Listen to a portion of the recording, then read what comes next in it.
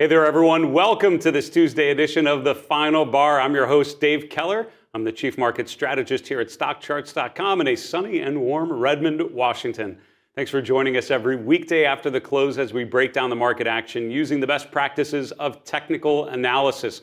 We're going to talk about market conditions. We're going to talk about a heavy earnings week, some of the big tech leadership names reporting after the close today. We'll look at some of the charts that are on the move going into earnings. Some of the names probably they're going to be moving quite a bit here in the next uh, the next session or two. Also sitting down with a uh, living legend, Ralph Acampora, the godfather of technical analysis, is here in our uh, in our offices in uh, Redmond with a fantastic chart that he has donated to uh, Stock Charts. We'll have some comments from uh, Ralph later in the show. Also, some of his thoughts on the market. Pretty constructive here. Now, when we think about that, it's all about the market conditions as defined by price. So with that in mind, let's look at the prices of major assets as we go to our market recap and focus on how the uh, charts have evol evolved over the course of the day here. You know, it's interesting as I was looking, preparing for the show, looking at our market dashboard, uh, you know, I was going through these first three charts, and we're going to zoom in in a moment, but just wanted to show you the Dow. Here's the last two days. So look at today's session. Here's the Dow sort of steadily moving higher. Here's the S&P essentially flat for the day. There's the NASDAQ composite drifting lower through the course of the trading session. Right there, I think you know most of what you need to know about the conditions through the course of today's session. It was basically about value over growth, some of the beaten down sectors that have not been doing particularly well, things like energy and staples and even materials, outperforming the FANG sectors that have been in the top of the leaderboard for quite some time. Let's look at how the numbers actually played out. The S&P 500 essentially flat from yesterday's close, finishing the day around 49 at 25. The Dow up about a third of a percent. Again, that's driven by those value-oriented uh, sectors that are more heavily uh, represented in the Dow as opposed to the S&P. And the Nasdaq Composite down about three quarters of a percent, uh, just around 15,500. Mid caps, small caps, all in the red, and the S&P 600 small cap index down about a half a percent. The VIX drifting lower. So it's interesting, uh, you know, again, when we think about, you know, rotation versus a change of market uh, phase, uh, two very different things, right? When investors are rotating from one sector to another, probably the volatility remains relatively low, generally speaking, would be my general way of, uh, of thinking. And that's kind of what happened today, right? The VIX actually drifting a little bit lower, still above 13, around 13.3. So we're in the low teens, we're still in a low volatility environment. The reason why we look for the VIX to uh, be a sign of something more significant happening in terms of more of a risk off rotation uh, and more of a danger sign would be the VIX pushing higher because that's when investors are not just rotating to other equities, they're kind of getting out. They're selling aggressively. That causes volatility to spike, and that's what will often cause uh, the VIX to push higher. And that's why higher VIX tends to coincide with lower uh, risk assets, particularly our, uh, our growth oriented benchmarks. Looking at the interest rate environment, kind of mixed to be honest with you. The long bond yield and the 10 year yield uh, drifting lower a little bit. The 10 year yield, which is the main data point we tend to focus on on the yield curve, right around 4.06%, so just below 4.1%. The five year yield moving up to but just slightly, still remaining right around that 4% level. The short end of the yield curve still very elevated. So we do still have an inverted yield curve. We've had an inverted yield, for, yield curve for quite some time. Uh, it's so funny, and I, and I find when we when, we, uh, when you look at uh, uh, commentary and market strategy related to the yield curve and the inversion of the yield curve, I have read plenty of, uh, of content suggesting that the inverted yield curve has been a very good predictor of market tops and recessionary periods, really, uh, because that inver inverted yield curve represents uh, a lack of optimism about future economic growth. We're probably heading into a slowdown type of period which is why um, an inverted yield curve has been, you know, before most recessionary periods, uh, you've had an inverted yield curve.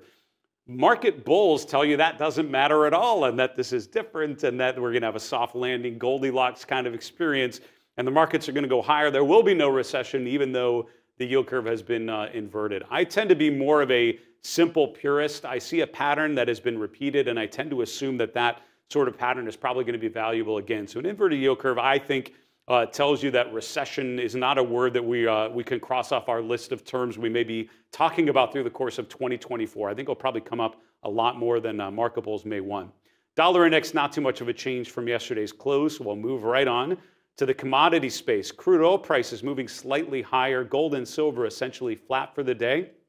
In a lot of ways, you're getting kind of a quiet period. This is one of those weird um, you know, Fed meetings because it's right in the midst of earnings season. I'm talking the heat of it. As I mentioned on yesterday's show, 20% about of the S&P 500 uh, companies reporting earnings this week. So you have the Fed meeting with, which if it was kind of a normal week, we would all be focused on the Fed meeting today and tomorrow. Tomorrow is where we have the uh, any update on uh, Fed funds target rate, and we're expecting uh, no change, but especially focused on Powell's comments about an outlook for the uh, economy, uh, an outlook for Fed policy changes and what that might mean, thinking about what it might mean for uh, the Fed to be lowering rates through the course of 2024 and when that first rate drop may, may occur. But the fact that this is happening in the midst of big time earnings, a bunch of the Magnificent Seven stocks are reporting. So the, the Fed meeting is one of a number of things all uh, happening. Jobs numbers later this week, of course, uh, something that could potentially move the markets as well. So commodities, generally speaking, kind of a quieter day. No significant moves, except crude oil prices doing a little bit better, and uh, energy stocks doing well uh, also. Cryptocurrencies, we have Bitcoin up to around 46, uh, sorry, 43,630. We'll call it. It's up about three quarters of a percent from the end of the 24 hour period yesterday. Ether price is just below 2,400. That's up about 3%. You can see the remainder of the top 10 coins overall kind of mixed, little more red than green, but Bitcoin and Ethereum really moving higher, and Bitcoin bouncing off of that big round number of 40K. It's bumped up about almost 10% since hitting that uh, low here recently. Finally, looking at the sectors, and again, it's, it's such a pleasure to have Ralph Acampora in our office. Had lunch uh, with him and was talking about uh, just general market conditions, what sort of names he's looking at. It was funny, you know, a week ago or a couple weeks ago, I would have thought we were talking all about the FANG stocks, right? The Magnificent Seven.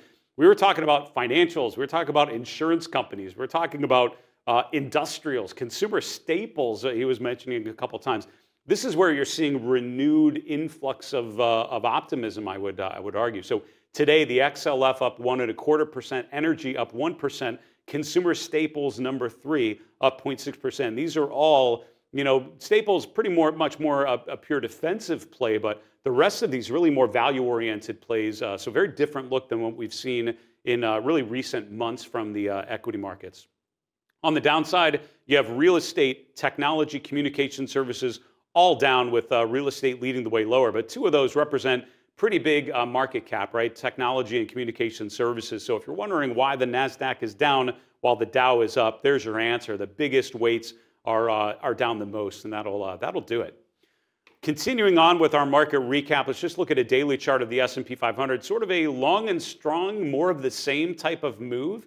Uh, most of the days in the last two weeks have made a new, uh, a higher high than the previous day. There's only one or two days out of the last two weeks that have not uh, actually done so. So that is certainly a sign of optimism of continued upward pressure.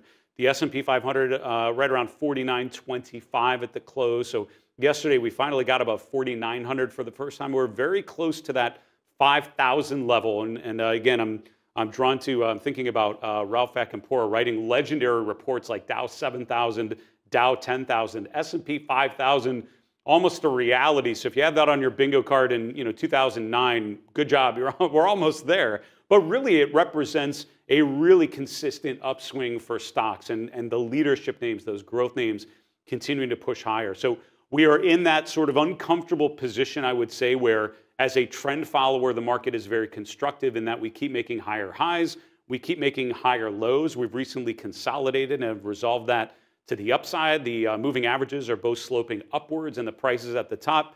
That's a bullish trend by any definition. The, the downside are that breadth conditions, you know, in some ways still overly optimistic.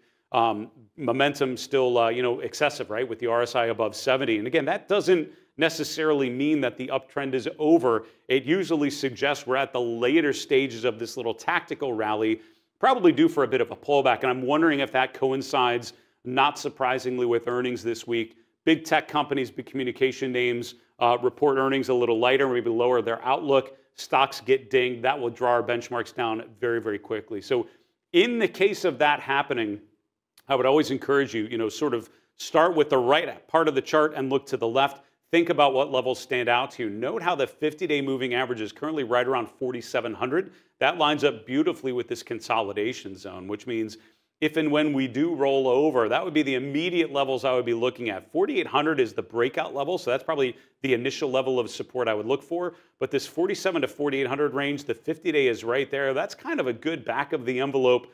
You know, if we get a brief pullback, I wouldn't be surprised if we get back to retest that uh, sort of breakout range. So keep an eye on that level, if and, and more more like when we uh, we actually do get a meaningful pullback here. I mentioned the financial sector. A lot of the names, uh, you know, kind of getting it done today uh, in the financial sector. The XLF up about one and a quarter percent, leading the markets higher, followed by energy. You can see the XLF making a new 52-week high.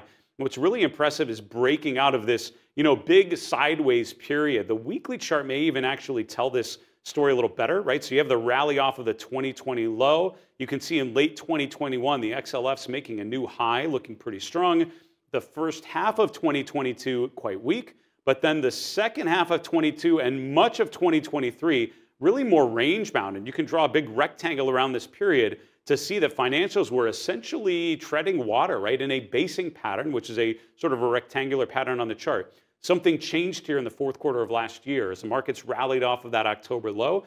You can see that the financial sector popping higher and continuing to push on to where we're at today. So the daily chart really showing that strength. I think the weekly chart really shows you this, you know, uh, this drop in the first half of 22, the sideways period that was in place for more than a year, and then this rally that we've now experienced. Now, to hit on some of the names in the financial sector, and, and really for the remainder of this uh, time, we'll, we'll talk about some individual names here, uh, given uh, earnings season, but progressive is one of those charts that has just gone consistently up and to the right. This is a weekly chart, say again, a weekly chart of progressive, an insurance company.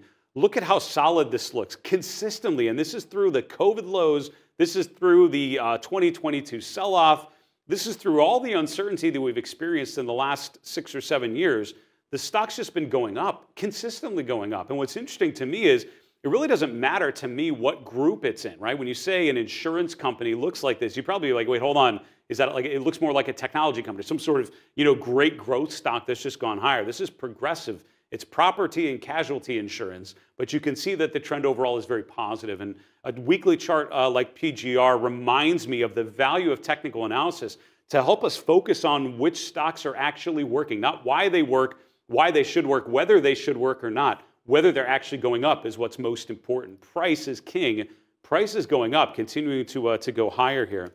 Now, going back to some daily charts, you have American Express gapping above resistance, pulling back and popping higher. In the last week, we've had a nice uh, sort of gap higher. And then what's always interesting after you have a price gap is what happens in the subsequent days, right? In the next day or two, do you see additional buyers come in? Because Progressive was at 187, 188.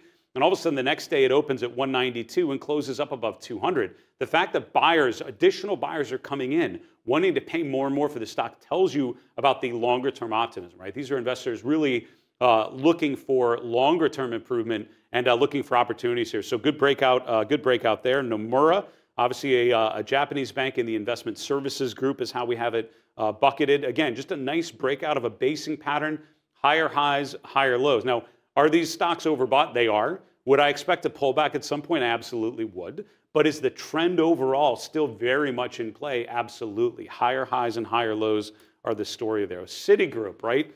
Uh, you know, a big sort of classic uh, U.S. bank. You can see again sort of this deterioration on the left third of the chart, this big sideways basing pattern. And look at how this stock has reverted back to the uh, to the upside. You know, we had a question. I forget what stock I was looking at, but I showed uh, a chart like Citigroup, and I put the underscore to do uh, unadjusted data. Just as a reminder, the reason why I do that is when you're looking at a stock like Citigroup, our uh, data by default is adjusted data, meaning every time a company reports a dividend, you adjust all the historical data. And that's a common practice in the, uh, in the industry, uh, in market data platforms, because when you're looking at the trend over time, stocks will often have that quarterly gap if it's a dividend payer. So the stock will gap down. It has nothing to do with investors getting nervous or any sort of behavioral implication. It's just because the company paid out part of the value of that stock in the form of a dividend, so the price has to get cut down. So what we do is we adjust the historical data, and this is called an adjusted data set. But if you want to look back in time and see where the stock actually traded at a point in time, and this only really mean, has meaning with higher dividend pairs. That's like a two, three plus percent uh, dividend yield, then what you might want to do is put an underscore before the ticker. What that does on the stock charts platform is it unadjusts the data, meaning it takes all those dividend adjustments away, and now you're looking at where Citigroup actually traded at these different points in time. Now we do still just adjust for splits, so just so you know, that's one uh, adjustment we would make, but very few people, if anyone, actually show a split on a chart. It doesn't really help and doesn't really mean a whole lot uh, from, a, from a technical perspective. So when we look at the unadjusted data, look at the resistance from January, look at how that lines up with this uh, breakout attempt at the beginning of this year. We pulled back to the breakout level, and now we're following through to the upside. Citigroup up over 5% today. Now, to finish off our market recap, we have to talk about earnings, and there's some meaty technology names and uh, communication services names represented just today after the close. AMD, one of the largest semiconductor stocks, AMD and Nvidia, sort of the two, the two big ones. AMD down three and a quarter percent going into earnings today. You're going to notice in a moment, uh, Apple, if we have time to get to it, also down today. So I'm a little bit concerned. Some of these big uh, names reporting earnings actually coming down going into the earnings report suggests some not so much optimism or some profit taking going into these uh, earnings reports. It could be just investors taking some bets off the table because earnings can be an uncertain event. And if you're caught on the wrong side of it, it can be pretty painful. You don't want to give back all of these uh, previous gains. So look at this beautiful pattern of higher highs and higher lows. Maybe we're just in a pullback phase. Keep an eye on some of those previous swing lows. That 50 day moving average is all the way down 30 points lower around uh, 140, uh, 141, but just coming out of the overbought region today. Microsoft also reporting uh, after the close. You can see this just stepwise motion, right? The resistance in July, we broke out. We retested that resistance, level or that resistance level now becoming support. We bounce off of the 50-day moving average with the RSI right around 45. We've now made a, uh, a new swing high. Once again, overbought usually implies to me we're sort of at the end of, uh, toward the end of this up move, look for a bit of a pullback. But overall, the longer term trend still uh, quite constructive. Alphabet Another leading name we've highlighted many times. Again, this basing pattern here, breaking out uh, above resistance. This hammer candle may be a little hard to see, but that's that little uh, candle there, that uh, swing low where we came up and closed near the highs. From there, we've rotated higher. Alphabet's still overbought here just slightly as we go into the close and coming up to their uh, earnings announcement. But all of these names, again, the consistent pattern with those last three, AMD, Microsoft, uh, Alphabet, They've had really good runs already. They have long-term very constructive patterns. They are overbought and just starting to come out of that overbought region going into an earnings release. I'm interested and, uh, and probably anticipating more pullback than anything uh, around earnings, and maybe we have a reset uh, to go higher. Just to wrap up our market recap, Apple's actually reporting later this week, but I do want to note it has stalled out, unable to get above $200 a share, now selling off today another 2%. This is as, again, some of these big names are, uh, are reporting earnings. So interesting to see how the companies and the stocks look going into earnings. Always important to look at the charts after the earnings release, so tomorrow's session, to see how investors are treating that new price cap. Do you see additional buyers or sellers coming in? And see what that can tell you about the overall trend and uh, configuration of these, uh, of these technical uh, charts. That's it for our market recap. Quick uh, announcements before we bring on a fantastic guest Ralph Acampora uh, and uh, get to, uh, to the announcement here. We'd love to hear from you, right? We have some great questions we received in our, in our mailbag. So many thoughtful questions. We did an all mailbag episode end of last week, and it was a lot of fun, really getting into some of the nuances of technical indicators and market behavior and how to think about stocks in rotation. So keep the questions coming. Our email is thefinalbar at stockcharts.com. We're on X at FinalBarSCTV, and on our YouTube channel, of course, just drop a comment below the video that you're watching. We would certainly love to hear from you. We'll hope to answer one of your questions in our next mailbag show. I sat down a little earlier with Ralph Acampora, again, a legend in the, uh, in the financial industry, literally taught the street how to do technical analysis, myself and many others included. He's actually here in our offices in Redmond hanging up a, uh, a chart that he's donating to stock charts. You're going to see in our interview the chart in the background. It's just an amazing piece of market history it's a uh, chart, hand-drawn chart from the 1970s, capturing the 1974 low, all of that negative sentiment and the rotation to a bullish sentiment that really led to the 1983 breakout where the Dow finally broke above 1,000. So here's my conversation earlier with the great Ralph Acampora. All right, what a pleasure, everyone, to sit down with one of my mentors, really a legend in the technical analysis community in the financial industry, Ralph Acampora. Ralph, welcome to the office here in Redmond. It's so good Thanks. to have you here. Thanks, Dave. Thanks for inviting me. No, it's great to see you as always, but especially, you know, this week, you're in the process of hanging up a legendary chart of market history. Yes. Here now in the stock charts office. Can you briefly share with us Yes. what is this and why is this hanging here now? Well, this chart is over 50 years old, Yeah. and it hung in my chart room at Kidder Peabody. And I had a staff of people that we would maintain this chart, which is eight feet high, about 22 feet long, and had four walls. That this, so you can imagine how big the war room was. Right. and uh, it was a wonderful experience, you know, just maintaining the data. And I had a whole staff doing it. Yeah. And uh, we would sit down after a day of doing all the charting, and then we'd spend uh, our lunch hour just look, walking around the walls and talking about the about the market. Soaking it all in. But we were a day late. See, you guys are online. You got it minute by minute. I had to do it the day later to Well, look at the. it's 2024. We Yeah. need instant gratification now as uh, as investors. But Yes. you know, it's interesting. And this period in market history that we're featuring now, it's the 1970s, one of Oh, the yeah. most significant lows in market history. A time when breadth conditions were so incredibly negative. Yes. When you look back now, Oh, during yes. that period, what was the sentiment like as an oh. analyst, as a strategist? Oh, what did it feel like on the street at that? oh, it was horrible. Yeah, And it's well, it started in 1973 when the market was peaking out. Yeah. Then you had the Yom Kippur War. Then the Arabs had the oil strike, and Yeah. they and and the and the market just collapsed. It dropped 45 percent. If you look over my shoulder, you'll see a lot of green. Right. Green on all those indicators mean you're oversold. Really oversold. Yeah, so green means it's good, right? But if you stay in green a lot, then it's not good, you know. and you can see for months and months and months we were in deep oversold conditions, and the market. Did, yeah, if it rallied, it rallied for a couple of days, but yeah. So the wall colors on the wall really help you, and you you look again, you'll see there's a patch of red years later, and that was when we came Coming out, out of of that. We had a good bull move for a while. Can you talk about what that was like? Obviously, conditions were so negative for so long, and then all of a sudden things started to improve. Yes. But it took quite a while. I mean, 1980, 283, first time the Dow kind of went back above 1,000. Oh, Yeah. How, I mean, talk about that transition and what convinced you finally that Oh. the market was constructive. Well, that's the great story because uh, I like to tell the story for the first 12 years of my, my being in the business. Everybody had these long faces when I show because we were stuck in a wide trading range, a low of 500 and a high of uh, not quite a thousand. and We just couldn't get it at a trading range. Yeah. And then I think Ronald Reagan dropping uh, interest rates and uh, cutting cutting that, and all of a sudden the market started to recover, and that's the period you're talking about, Yeah. the early '80s. Yeah. But on this wall is most of that period that we're talking about, the '70s. Pretty challenging. yeah. period. So you had this wide trading range.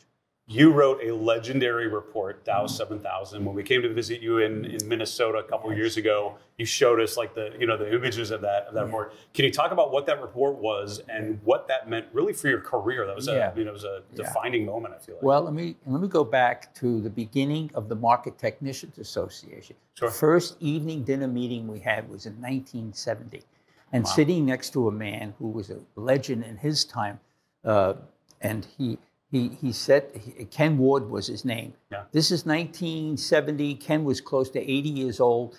That meant he lived through every bull and bear market up to the, that night in the 20th century. So I leaned over to him. I said, Mr. Ward, sir, I said, what was the most difficult market you He said, oh, young man. I said, I said, oh, I'm sorry, that's a stupid question. It's, it's got to be the crash of 29. He said, oh, young man, that wasn't the worst. I said, what? He said, the early 60s. I said, but it went up. He said, and it blew everybody away. All of us were saying the market's overbought, it's going to correct it. It never really Just did. kept And I right? never forgot that. In uh-huh. 1995, you look at the cover of my report, the Dow was up 900 points without a correction. I went back and read every Wall Street Journal from beginning to end. In those days, I had to, had to go to the original papers, the, the, the coughing with all the dust and everything. They were in the public library. Right. And that was the theme of the report. You know what we had then that we had in the early 60s? Low inflation, low interest rates. And that was the theme of my report. So it was technical, made me do my homework, and I found out a fundamental reason for doing that. Interesting. Yes, and that uh, I, a lot of the clients were really upset that I wrote the report. But when I went to their office and I told them the story that I just told you, best compliment you could ever give an analyst. One of the clients said to me, Ralph, I don't know if I believe it, but you gave me a lot to think about. Mm. And that guy had too many bonds in his portfolio. so I think I bailed his butt out.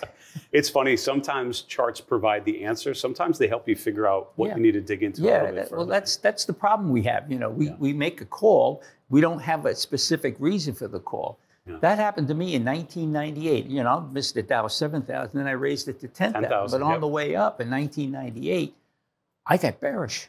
yeah. And everybody was mad at me. Why are you getting bearish? And all of a sudden, I, I, they were selling the big blue chip stocks.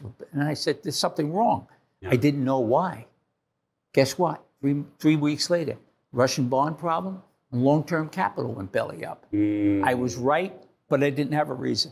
And then I got bullish again at the end. But uh, yes, the point I'm making is that we see things. The market market reflects. Come on, it's a discounting mechanism. That's right. It That's right. anticipates the economy. Yeah. So I'm not an economist, but I like to follow the markets.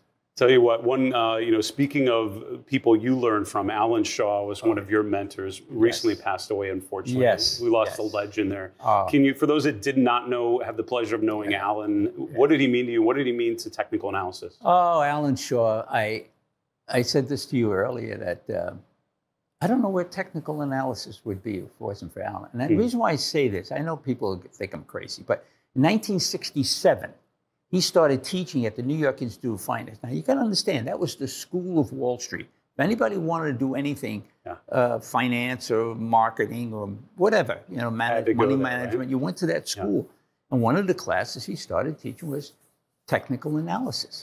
And people like myself, Louise Yamada, John Murphy, I mean, I could list uh, Felix Zuloff and all these names that probably you never heard of, all were students of his. Wow. And you know, and it was because of that, then I started teaching in 1970 because I, I taught the basic class and Alan taught the, I did it on Monday night and Alan taught the advanced class on Tuesday night. I did that for 43 years.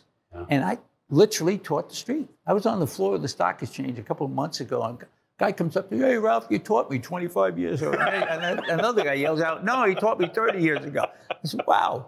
And, but think of the impact that Alan Shaw had. There'd be Yes. no Ralph Acampora. I don't know if there'd be a CMT organization, or yeah, a CMT organization Yeah. today. It was the market technicians in the beginning. Um, we have a lot to be thankful for. And, uh. He's a great guy. And he told me one thing, and I'll share it with everybody keep it simple. Mm. When looking at charts, keep it simple. The Yeah. trend's your friend. Those are his quotes, you know. I think one of the ways we can honor someone like Alan, continuing to apply the discipline, continuing to analyze the markets. You are continuing to do so. I mean, you're still actively looking at the markets. Yes. When you look at the markets here in early 2024, I wonder if you would write a report today. What would that title be, or what you know? What's sort of your sense of the conditions here now? Well, I, I, I got to go back to October 13, uh, 2023. That was an intraday low that, and I've been looking at charts for a long time. I've never seen the Dow. That's when I think the Fed came out and 70, said 75 basis points they were going to raise. The market dropped and rallied that day. It was a key reversal. That Dow had an, uh, an intraday high low of a 1,100 points. Huge. Yeah, it was 8%. Yeah. And Yep. I, I, I just, it was like someone throwing a bucket of water on my head. I said, this is the bottom. So I've been a secular bull since then, Yeah. of course, looking for correction. And now I can't say we're in the early stages of it, but hey, I, I'm a trend follower. I like what I see. But you know what's in- interesting now? At that time, it was the big name stocks that led Yes. most of that period. Yep. Now I'm starting to see it rotating. And I have a phrase the lifeline of every bull market is rotation. Ah, And rotation okay. is taking place. I, I was just looking at some of my numbers this morning. Uh, uh, staples are coming, consumer staples are starting to pop up again, Yeah. financials, insurance stocks. Sure. Hey, take advantage of it. Yeah, I, I think the Magnificent Seven a little extended, and they're in nosebleed territory, some of these charts, but I don't see major tops in them. So, Yeah. you know, Still going up. Yeah. You mentioned things like uh, financials, even industrials, a number of these sectors that have been Yes, underperforming exactly. starting to work. Can you just uh, explain to people why is that important to see additional participation for some of these Well- other groups that have been Well, underperforming? as Alan used to tell me, when people take a profit, do they put that money in their pocket and go home? Or do they look at to put it somewhere else in the market? And that's exactly what this happened. That money that's rotating out of some of the leaders is not leaving the market. It's finding areas that haven't participated, I would say lower in price and lower in PE multiples. And that rotation is very healthy. That's long term bullish stuff for me. We're certainly starting to see that. Ralph, such a pleasure to see you. Thanks, Thanks so much for coming to visit us. Thanks for having me. Thanks for bringing some beautiful oh. artwork with you, and we oh, will take good care of it. Yes. Thank you very much. You guys are the best. Thanks. All right, we'll continue on with the show here in a moment.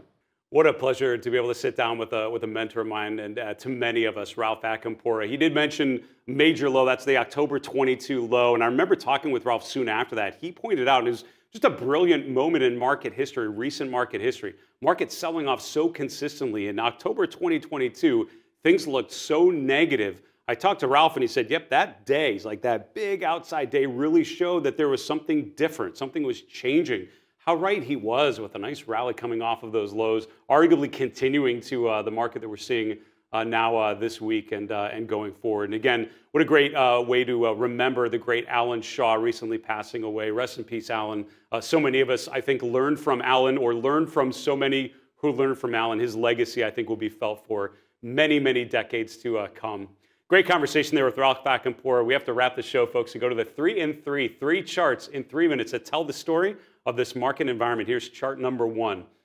You know, the mega cap leadership names, the Magnificent Seven, I would argue, are incredibly constructive or they're starting to show signs of weakness. It really depends on how you want to think of it. But I would like the charts to tell me what to think, right? We can always speculate about what may come next. Let's focus on the message of price. Now, when I think about those seven or eight mega cap leadership names, a lot of them making new highs and overbought. Microsoft's, uh, Alphabet's, Meta's having incredible runs. Apple is a bit of an outlier in that group, to be honest with you, in that it has not broken out. Netflix was one of those kind of leading names just finally breaking out.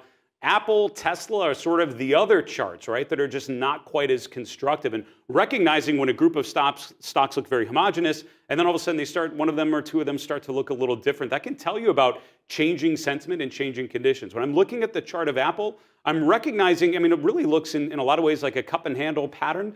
We have this rally in the first half of 2023, this rounded bottoming pattern, breaking above trendline resistance in November. What a great signal coming out of that, uh, that new low in, uh, in late October. We broke above trendline resistance, continued to retest the previous highs, and that's been it. Apple has been unable to get above that $200 level, pulled back to the 200 day once again, retesting the July highs essentially, and now failing to get there. Now, they're reporting earnings later this week. But I'd be very skeptical about upside for the broader market environment if big names, leading names like Apple, are not able to participate. We can debate whether we need small caps or not, but I would argue we definitely need the Apples and Metas and Alphabets doing well. Otherwise, our benchmarks just are not going to do well because of their weight uh, in the indexes. So pay attention to that. See if we're able to break out. And if not, this is at best a consolidating chart, and at worst, maybe starting to break down as the momentum certainly not looking constructive here as we uh, continue on this crucial week for the markets. Chart number two, looking at year to date returns, and I wanted to highlight that don't look now, but coming out of the October low of last year, this is the October 23 low.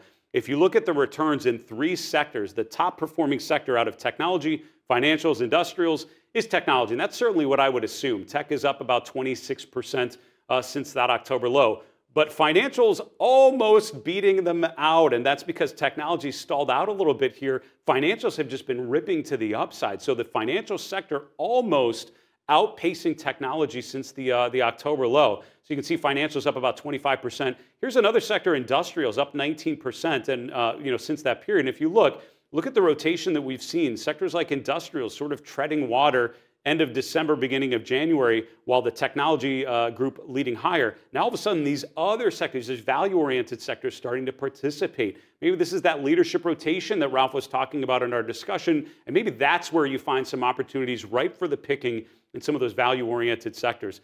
You know, finally, JetBlue, we talked about a lot of earnings. Obviously, the mega cap earnings you need to pay attention to. Always pay attention to those big consumer tech communication names uh, and understand their weight in the indexes. But I'm inclined to look at some of the names maybe a little further down the cap tiers uh, in some of the other sectors. Here's JetBlue, right? One of the uh, one of the airline stocks. You can see the rotation from a sell-off in October to a rally in November, gapping higher right to that first Fibonacci retracement level around 38.2%. That was here in December. From there, we tested it a bunch of times and pulled back. Now we're kind of in this limbo between two moving averages, right? We have the 200 day moving average and Fibonacci resistance, the December high right there. On the downside, we have the 50 day moving average, the recent swing low from January. One of these is going to break. And I think charts like this with neutral momentum in a consolidation phase, wait to see where the chart tells you the momentum is heading. And often you want to follow that momentum. Folks, that's a wrap for the show. Thank you so much for joining us every weekday after the close for the final bar. Special thank you to Ralph Acampora, Brando Brembilla joining us here in our Redmond office, sharing some great uh, ideas, uh, market history, and also technical analysis wisdom. Don't forget to like our video, subscribe to our channel while we're here. For StockCharts in Redmond, Washington, I'm Dave Keller. Be well, stay safe, have a good night.